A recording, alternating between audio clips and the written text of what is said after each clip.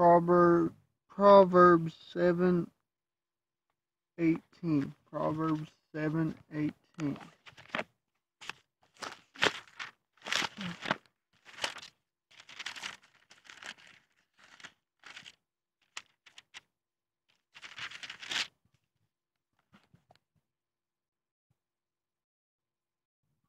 Come, let us take our fill of love until morning. Let us solace herself with loves. You know, love is something often that this world seeks. But true love is only found in the Lord, and without Him, true love can't be found. So to find love, we seek God. But many don't. We find a false worldly love. Okay, John 16, 25 through 27.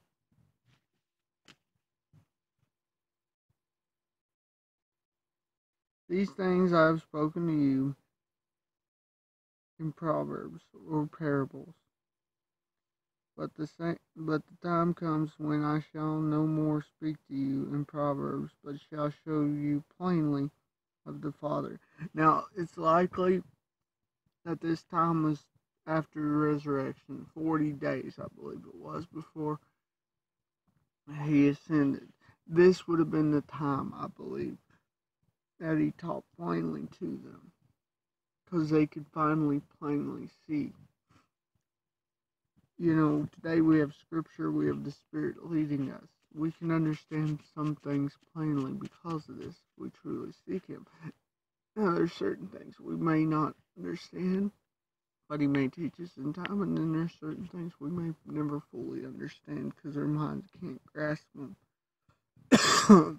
Verse 26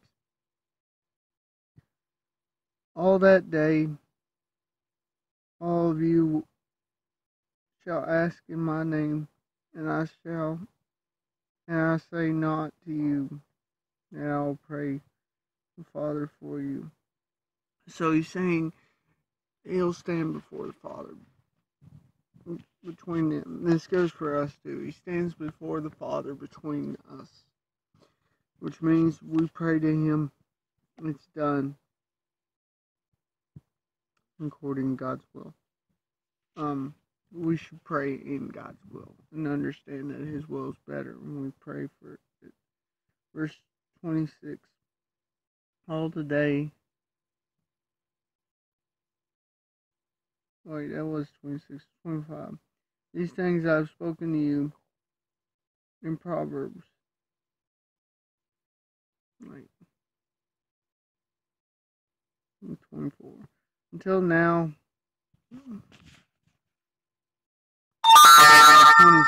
We're at 27. That's where we're at.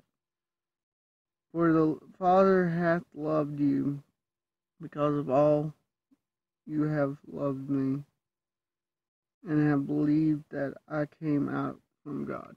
So they were having some belief there, not to the extent they would need, but he would clarify that when he would later teach them. God loved us. Christ is the proof. God loves us more, has a more intimacy with us. Not really the love's more, but the closeness, relationship stronger because we love Him in Christ. We need to love him, but we can never outlove